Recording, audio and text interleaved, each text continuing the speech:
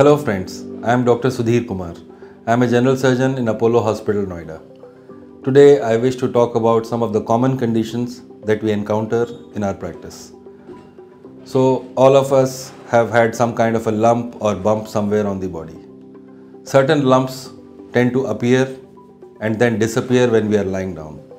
So these lumps will become more prominent when we are coughing or straining and they will disappear when we are lying down and relaxed.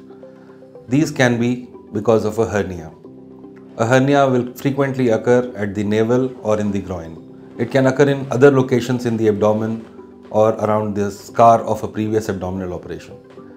A hernia is a purely surgical condition. As soon as it is diagnosed, it needs to be fixed. There are a lot of options as far as surgery is concerned. We may need to do open surgery or we may have the benefit of doing laparoscopic surgery depending on the case. In any case, the outcomes are usually excellent.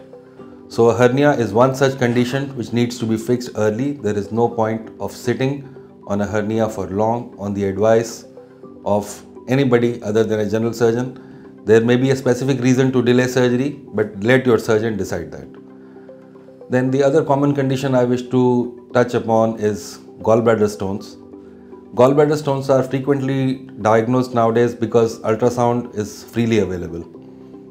Gallbladder stones can cause very mild symptoms which may mimic gaseousness, flatulence, even acidity, and they can cause severe life-threatening symptoms also. The operation for gallbladder stones is relatively straightforward and involves a short duration of hospital stay. Laparoscopic surgery is the gold standard and it is practiced widely. Abdominal pain can be caused by a variety of conditions. One of them is gallbladder stones. They can cause very mild abdominal aches or they may cause life-threatening symptoms. But once gallbladder stones are diagnosed on ultrasound, the operation should not be delayed because these stones can cause potentially life-threatening symptoms later on. The operation for gallbladder stones is well tolerated and involves a short hospital stay. The outcomes are excellent.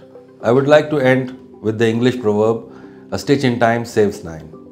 If the issue is addressed immediately, it will save us a lot of pain, effort and money in the long run. Thank you very much.